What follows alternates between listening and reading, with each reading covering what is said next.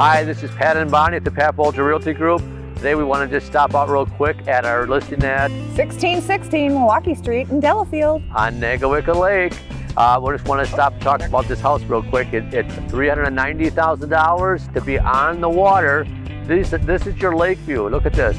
This is your lake view. You have over 100 feet of shared frontage, a pier, and a boat slip, all for $390,000. Oh, wait, there's a house. Ah, yeah. Yeah, very nice house, 2,500 square foot home, two bedrooms, two baths, a walkout lower level. The seller actually 15 years ago decided to add the basement, so he lifted the house up and he built a big, beautiful walkout basement. So anyway, Pat and Bonnie, I 1616 Milwaukee Street. only $390,000 and you're on the lake, on Delafield. Lake. Yeah, run, run in Milwaukee Street, beautiful swimming frontage.